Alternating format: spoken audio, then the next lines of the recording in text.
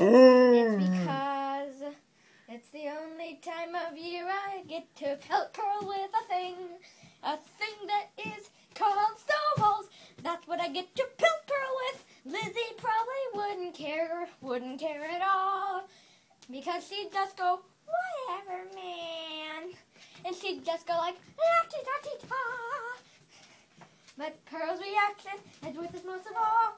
mm, Because she'd go like, woof, woof, woof, woof, woof, yay. And she'd act so playful about it. It would be worth it. It would be worth it all.